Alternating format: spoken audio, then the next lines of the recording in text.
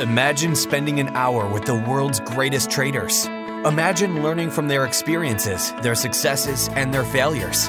Imagine no more. Welcome to Top Traders Unplugged, the place where you can learn from the best hedge fund managers in the world so you can take your manager, due diligence, or investment career to the next level. Before we begin today's conversation, remember to keep two things in mind.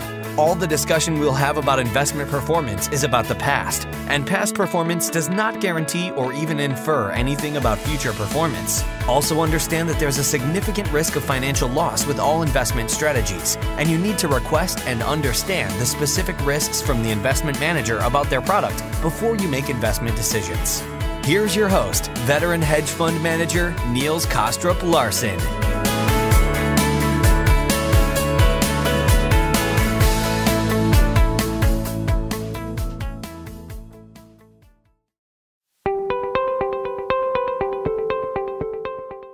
Market people are trading, say, understanding, and a lot of money is going through markets, understanding that with what you are doing, you are part of the market and you move the market, it's a different way of market dynamics than when there's a lot of money coming in and flying through the market with the idea, I can buy, I can sell, and it has no impact. Then the impact is the biggest. Harold, welcome to Top Traders Unplugged. We're so excited and honored to have you with us today. Both Katie and I have really looked forward to hearing your perspective on many of the issues surrounding our industry and your firm in particular during our conversation. But before we get all to all that juicy stuff, perhaps you can start out to tell a little bit about your background and, and how you got involved in this industry, and then we might talk a little bit about the history of Transtrend as well. Well, I'm, I'm Harold. I'm born on a on a dairy farm and when I was a kid, I knew all the farmers by name, including their fathers and their mothers. And as a farmer's son, there's only one job available that you, of course, want to do that is become a farmer as well. My, my parents have four sons, so only one could do it. But most people thought that I was going to be the one that was going to do it because I knew all the cows. But uh, I was also. Uh, the, the, the, nice thing was by, by looking at how uh, genetics works with cows and why black cows and red cows can combine to do you get a black one or a red one. That's how I learned uh, statistics, and that was before I had mathematics at school.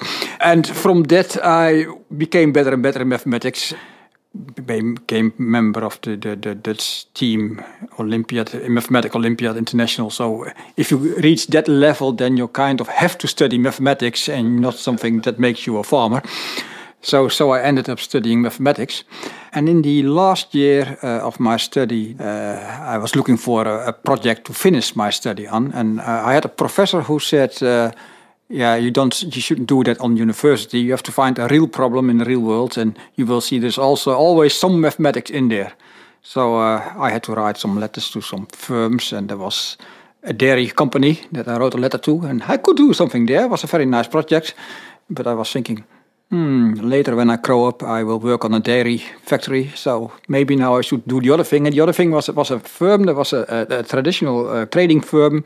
They transport things, and they had uh, they crush soybeans into soybean meal and soybean oil. They had uh, they were transporting a lot of things. They were very big in palm oil, for instance, and they were thinking about using futures markets not for hedging purposes but for trading. They saw all these uh, funds becoming successful in there, and they were thinking, well, this is our market, so if money is going to be earned in those markets, we should do it. So they had started a project, and the project was started with buying computers and getting data. That was how far they were. So when I came there, they said, well, we have computers and we have data. We hope you can do something with it. Well, for a mathematician, that is a nice, uh, nice way to start. So that's uh, I ended up doing that. I think, no, that's nice for uh, for a year or so, and then I do the real job in the dairy factory. What my ultimate destination is going to be. I'm still there. the dairy farm has to wait. But that, that that was a research project, and from that, that was part of this this whole project. What can we do with data, and what directions are there? And we pretty soon found out that the, the trend following way seems to be the most promising way because it offered most uh, possibilities for really diversifying things. You can apply it on many different markets, uh, and the more different markets, the, the better it's going to get. Um, that was for the mother company initially a kind of uh, issue because they were thinking we only want to do commodity markets because that is what we know everything about. That's that's our background. So uh, initially we, we we were trading palm oil and all kind of, of commodities, but also some financial markets. But that grew into more, and now we trade all futures markets. And what what what what time period are we talking about? What when what year? Uh, 1989 was when I walked in there. Okay. Yeah, I had no beard then. but I did start shaving. Right. excellent. Excellent. Yeah. And then how how did that morph into what you were doing at Transtrend? Maybe a little bit. Could you tell us a little bit more about how that well, evolved? Well, we, we, we, we, we were doing these different things, and we chose then that this, this trend following way was going to be the better thing. Um, then after a few years, the the leaders of this project, the, there was the, the the managing director of the mother company. He decided that he found it so interesting that he wanted to go further only with this part. So he bought out this part and became an independent company. Uh, in which we were managing also money for others than the, the previous mother firm. Yeah. So that that's how it started to become. Uh, and we were first aiming for Dutch investors, pension funds, and so on. But in those years, they were not really interested because they were thinking, yeah, but it is commodity markets and futures and and, and, and systematic way. That sounds like something that's impossible because markets are efficient, so you cannot do something like that. Um, so the, the, the group we were aiming at was not really interested, but somehow some people from US and some others recognized our, our, our uh, performance things, and then they uh, became interested. So that's how it then started. So, so, so the late 80s is, of course, kind of the same time that the Turtle project finished yeah. in the US. And of course, there are some managers who are even before that. But did you, were you aware, or when did you become aware that there was an industry actually doing no, trading futures? How, how did yeah, that come okay, about? But, but the, the man, so the project started with, with a man that had to buy computers and buy data, and he traveled to the US and bought all kind of books that were written in those years already. Ah, okay. So mm. from Kaufman and, and uh, Welles Wilder, uh, those books are from those years.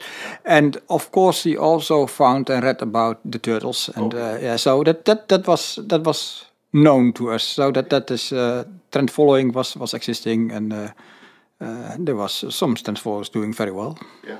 So there was some there were some basic lines about what is what a trend follower should do, and then we found out one of the rules. Uh, one story was. Uh, there was three things important in trend following. That was you should always use stops. You should always be in the market and you should always trade the same size. That was the, the basic rules in those years.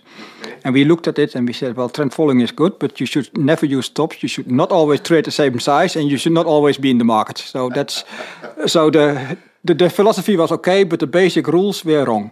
Yeah. So that's how we started. Interesting, interesting. And were you sort of in those early days? How many of you were inside discussing, debating, looking at these books, reading the books? Four persons. Four people. Okay. Four persons. Wow. Yeah, yeah, but that was so nice because the four persons did everything. In in those years, I uh, checked the data, I did do the research, I did install. Uh, drives into the computer. I did repair the coffee machine. I right. did uh, uh, bring in the orders, uh, call with the brokers worldwide. Yeah. that was the early days. It was four persons, and most of us were doing almost everything. Right.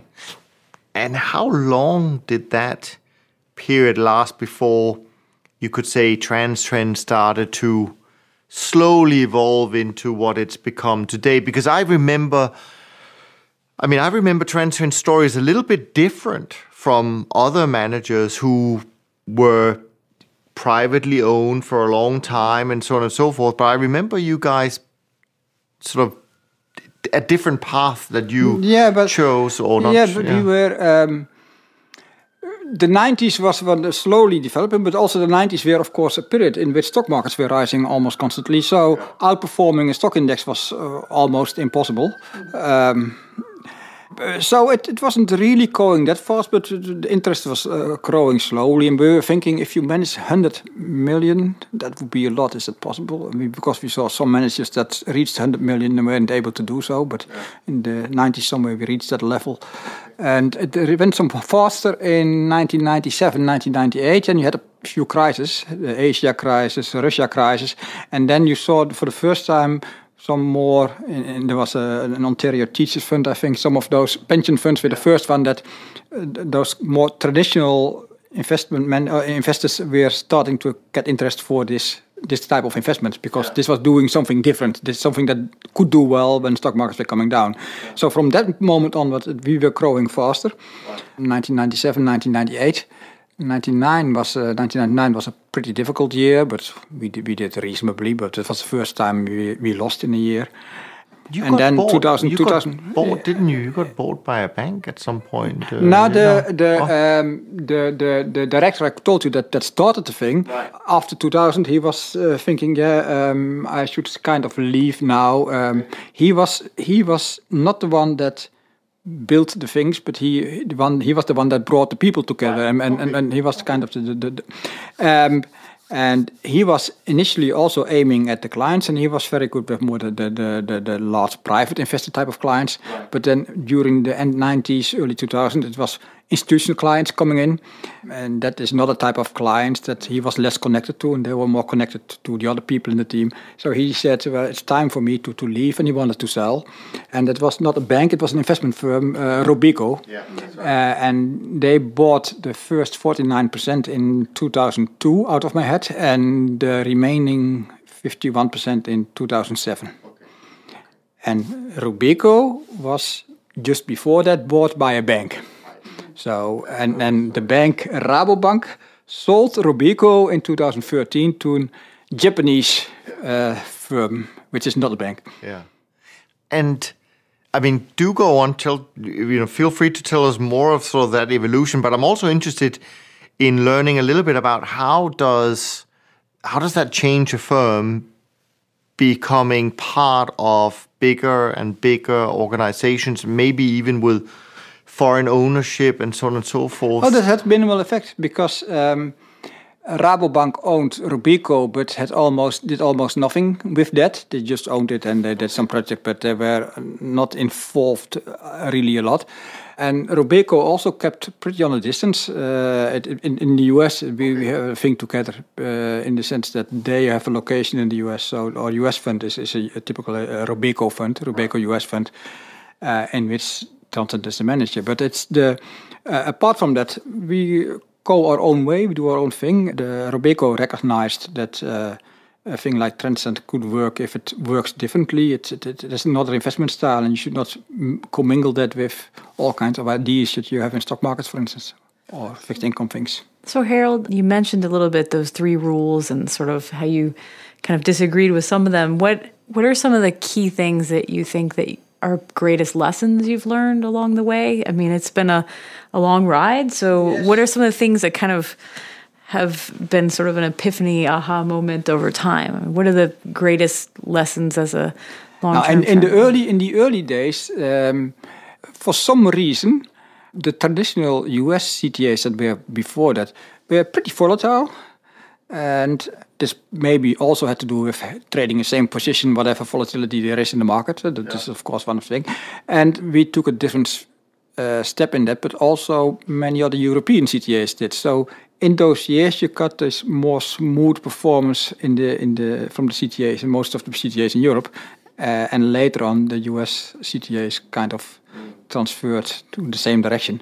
So looking at it from a, a risk level, on the portfolio level, instead of uh, individual positions. Yeah, the traditional US way was really all everything you read about was trading a market, trading a position in the market. We're trading gold and we're trading silver or we're trading Aussie dollar.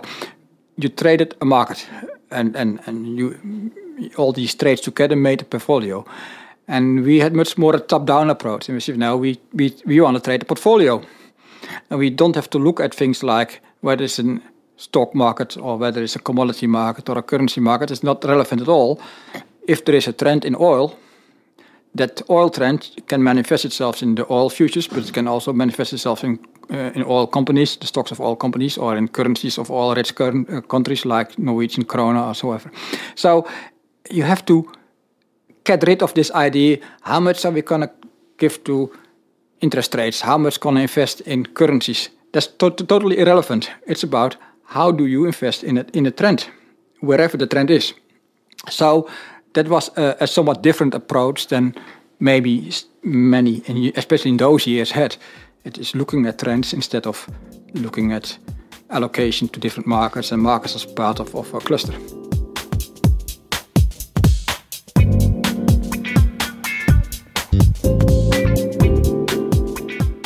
And and where did that idea come from, so to speak? Because as you say, a lot of the people, a lot of the the, the early pioneers were were not doing that. I know that, and I completely agree that the European industry probably overtook the US, and certainly in the terms of the view of the institutional investor, because of that different approach. So I think it's really key to understand where your realization came from? Was that by looking at other European managers, or was it just from reading more books, or just from your own looking at the markets? Yeah. Okay. Now, just look at the markets, yeah. see what's happening, and that, that's that's the, the basic thing. It's it's reading books is nice, but you don't learn that much from books because the markets are changing. They're changing constantly. You see what's happening in the market. If you look at the market, then it's logical and if I say it's oil risk companies and, and uh, oil currencies and, and oil markets, if I say it, everyone re realize, yeah, of course, it's logical.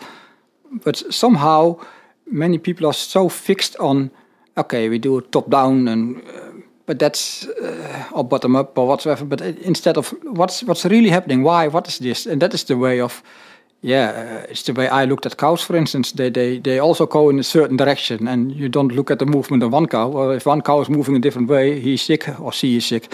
Uh, but it's uh, you have to look at the, the whole flock of, of, birds and the whole flock of, of cows. That you, then you see something, and then you know which ones belong together and what's is another thing. And that's the way of looking at markets is not much difficult, uh, different than looking the way you look at, at animals because uh, markets are driven by the well the the, the the, the animal kind that is very popular in the world here. We are sitting here with five of these animals, so it's, uh, it's we drive the market, and that's looking at it how if in that sense I am the farmer that is looking at the cows, but different cows and they produce different milk. Sure, sure. I think when people look at our industry, um, and and I think certainly there is in, in recent years, maybe from some types of investors, this notion that trend following is easy, right? So we shouldn't pay for it very much. It's we should just use replicators, etc., etc. I don't want to go down that path right now, but I do want to ask you, what do you think investors underestimate the most about what we do as as managers? What do you what do you think they underestimate the most? Uh, one thing is that we are constantly doing something else. All these things that it's easy is based on doing a historical research and doing the same thing. Uh, I've seen research that goes back 100 years. Well, it's very nice. Uh, so, 80 years ago, you sent an email to to uh, Japan, and they will execute the order that you just came in the data you just received by your computer or something uh, it, it's it's impossible. World is changing, constantly changes. So it's that that's that's a very important thing. So um, there is no existing CTA that exists for a long time that is constantly be doing the same thing. You mentioned the, the turtles earlier. The turtles, especially Eckhardt, also said, "There's not one line that I haven't changed." So, and many people said about the turtles in the early days, the ones that didn't succeed were the ones that couldn't stick to the rule.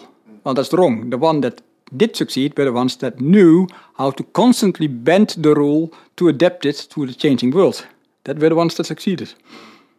And in that sense, Eckhardt was the best turtle because he knew that as the one that was kind of leading the project and constantly kept on doing that and that, that's that's the whole thing. The idea that it's just a simple formula that you can use and keep on using is, is not right. And especially the last years, a lot of things has changed, and uh, sometimes it's, it's underestimated. We also underestimated some of the changes that happened.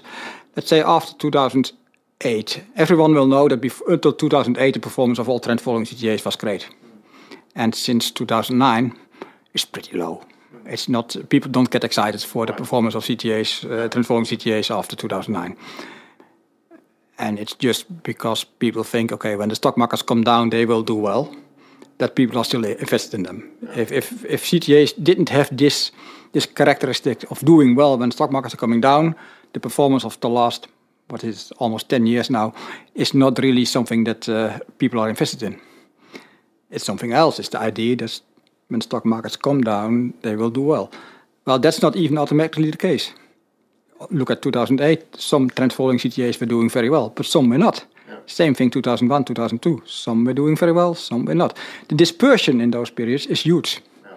So you have to make all kind of choices to make it happen that it is doing that you are doing well in those environments. Mm. But in between, from after 2009, the world has really changed in many aspects. In the beginning, we were thinking, okay, it's uh, because of QE that it's not doing that well. And if QE is over, the returns are automatically coming back.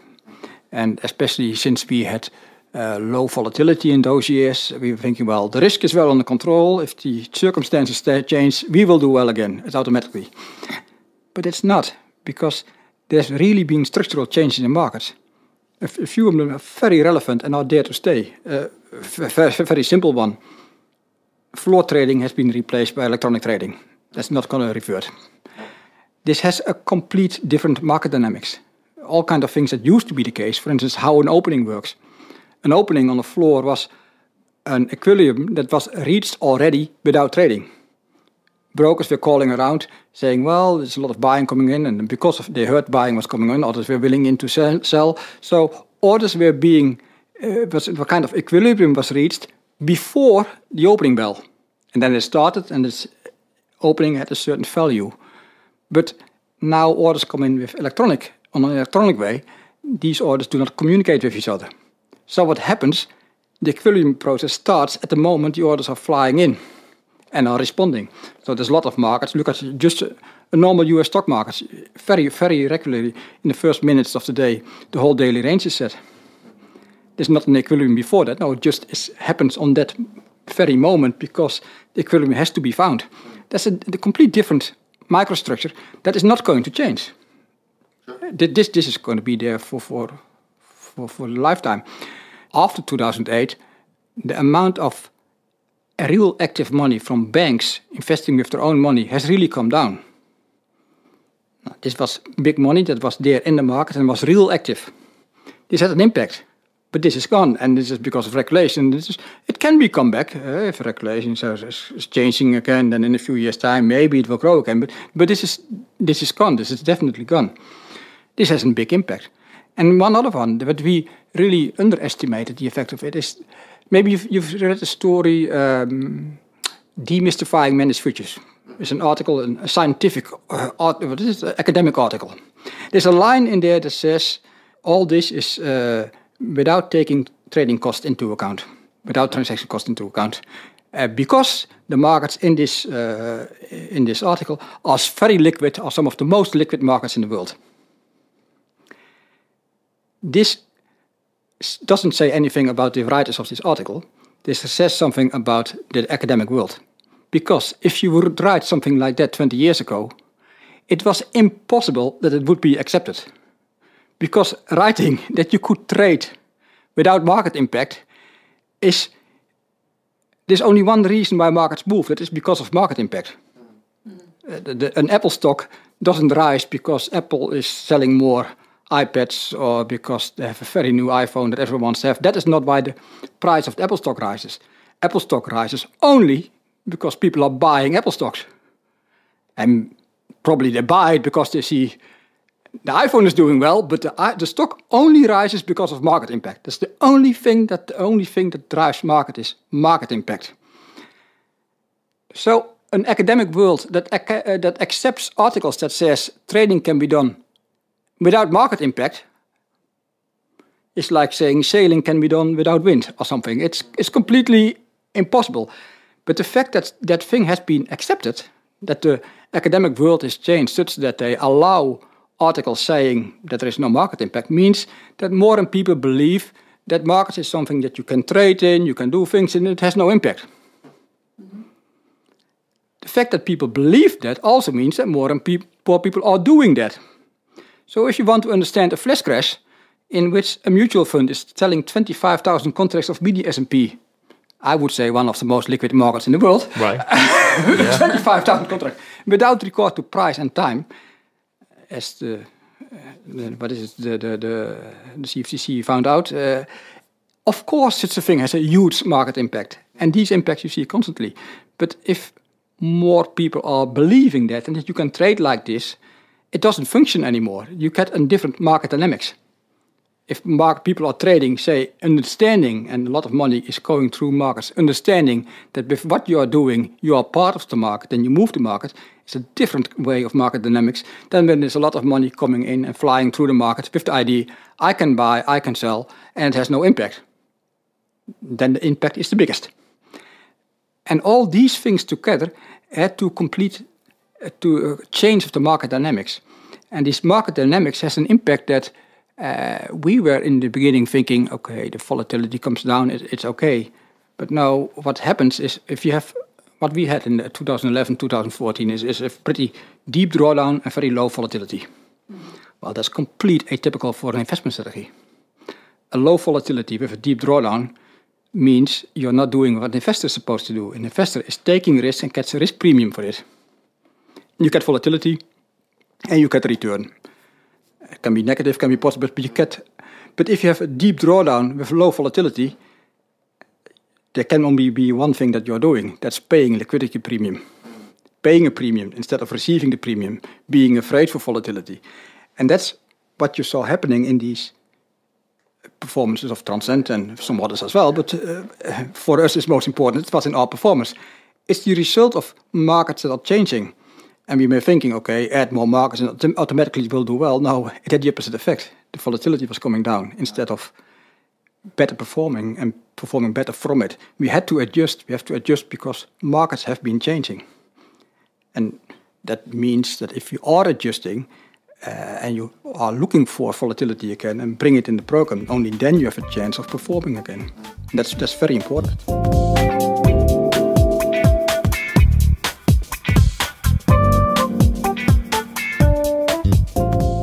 So when around when was this that you did you make some changes to the program or did you the, do some the, research and in this in this area and then come with some adjustments in the in the summer of 2013 we realized that that that this thing was going wrong and that we had to adjust. We had to adjust really adjust on different fields and making sure okay the markets are changed they have changed they have, it's not just QE it's really something happening. And if you look at our volatility you can see that it takes until because we had to think about how are we going to change it. So it took some time, and we first had to make changes that didn't have an immediate impact, but were necessary to make other changes, the necessary changes possible.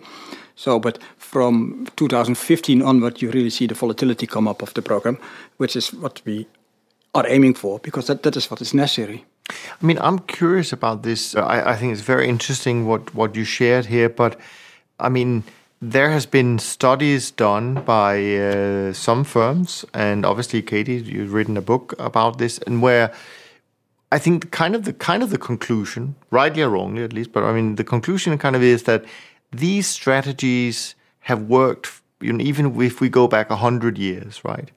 Um, and that, but but but when you talk about these changes in the markets, I'm thinking, well, over hundred years markets must have been changing many times, right?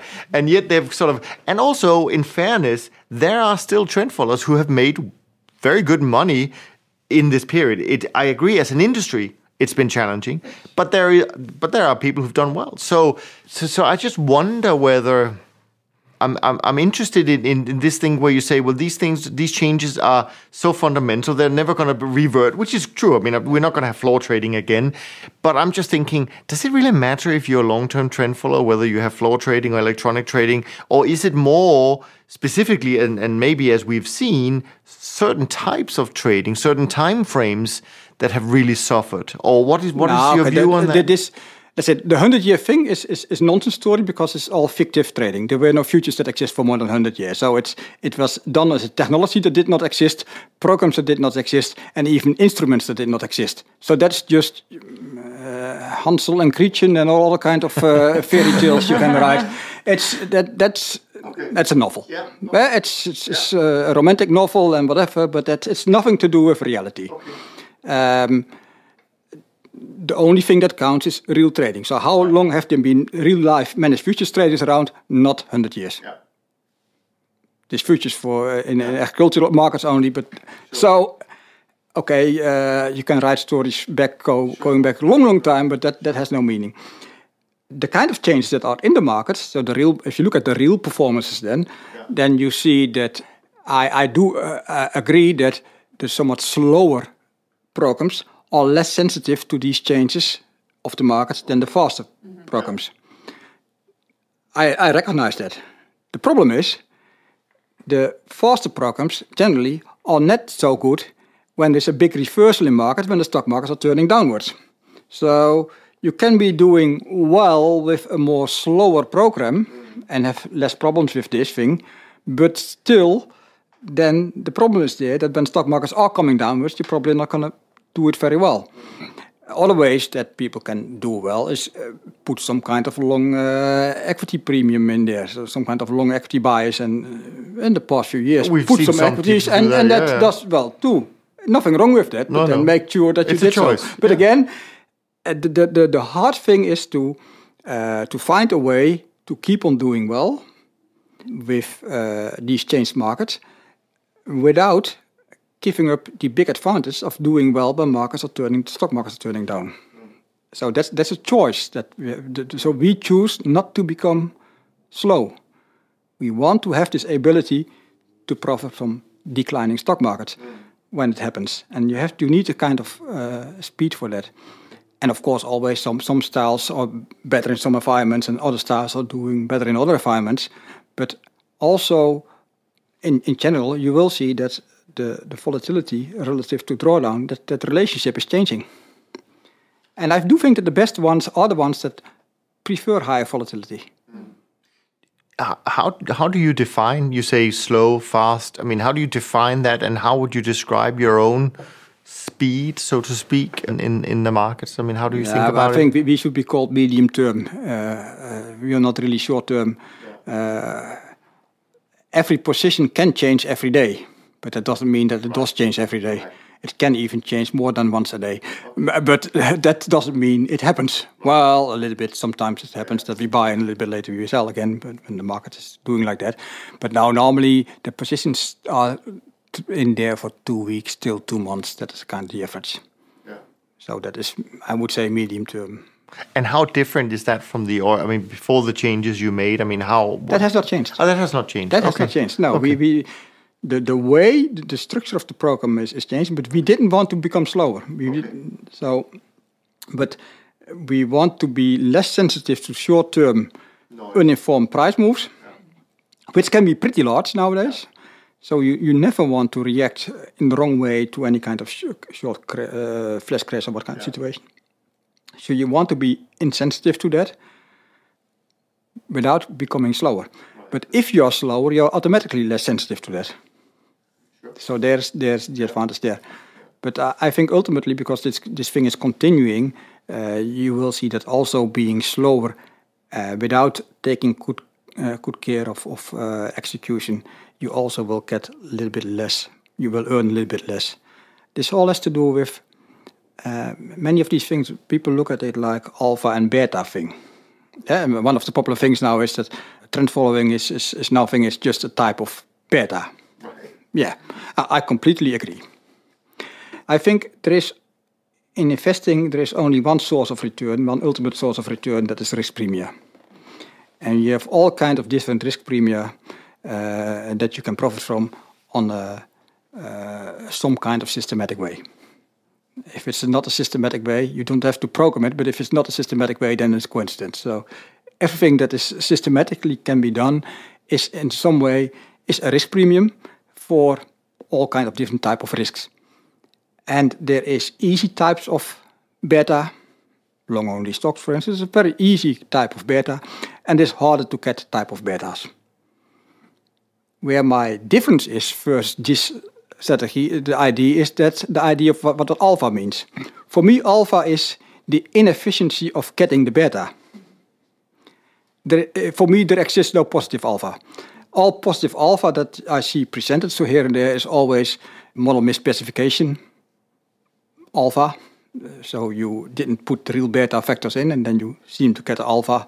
or it's, it's not linear correlation relationship or whatsoever. It's always model misspecification.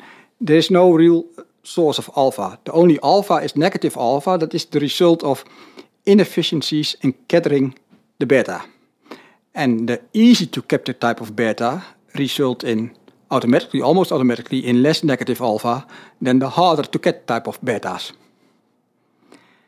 So what we are doing, we're delivering a type of beta, but the markets are becoming somewhat uh, these kind of little changes in there means that if you do not change anything, then with the same beta you get a little bit more of negative alpha. And you will see it in execution, for instance. And it has to be just a little bit thing. If you look at correlations, you won't see it. But if you just lose 0.1% every day in execution, sounds like nothing and you don't see it. With 250 business days, that's 25%. So no strategy is good enough to be able to lose 0.1%. 0.05% is still 12.5%. It's very simply done by just a little bit more changes in the market dynamics, not taking care of that well enough, you get this, this negative alpha thing. This negative alpha thing is also very important. If you look at the model this way instead of the positive alpha thing, is that um, the, the, the, the, real alpha adapts say you can do uh, stapelen. This is Dutch. This means um, alpha um, uh, transportable portable alpha. Portable, portable alpha. alpha. Yeah. Portable alpha is the term. Portable alpha is a great thing. It is a, it is a typical academic because it's a positive alpha, and you can place positive alpha on positive alpha on positive alpha, and you can get better better returns. But if the real alpha is negative, portable alpha means you add negative number. It means you have been trying to get some kind of risk premium. When you do it, you want to do it as cheap as possible, but by doing it cheap, you miss something, so you have a higher negative alpha, and you think you can add that by adding some alpha. But that alpha means you're adding someone else that tries to capture the same beta, and that has some negative alpha as well, maybe less than the other one, but it's still more. So you're instead of building up more and more alpha, you're digging, digging in more deep and deep negative alpha, making more inefficiencies. Inefficiencies cannot be compensated by other inefficiencies. So this model of positive alpha should be forgotten.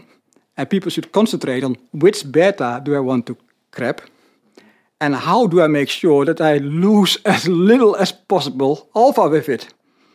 Instead of how do I get positive alpha because it's something you cannot get. And in that sense, alpha is comparable with health. Health doesn't exist. What's, what's health? You cannot. It's only the lack of diseases and, and the lack of uh, accidents. Uh, you, you, if you look around before you cross the street, then you stay healthy. If you do not look, look around, you, you will be override, uh, overridden and then you potentially die. Not, not good for your health. But you cannot compensate that by, you know what, I um, cross the street without looking. But once I'm at home, uh, there is my portable alpha. I uh, watch uh, television very good for an hour and look, everything is all right again. That doesn't, that doesn't work.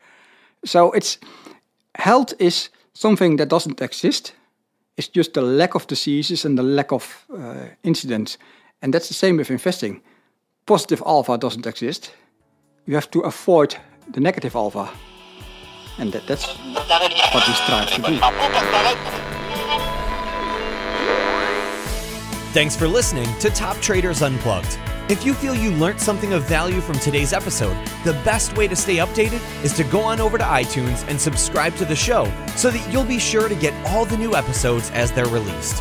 We have some amazing guests lined up for you, and to ensure our show continues to grow, please leave us an honest rating and review in iTunes. It only takes a minute, and it's the best way to show us you love the podcast. We'll see you next time on Top Traders Unplugged.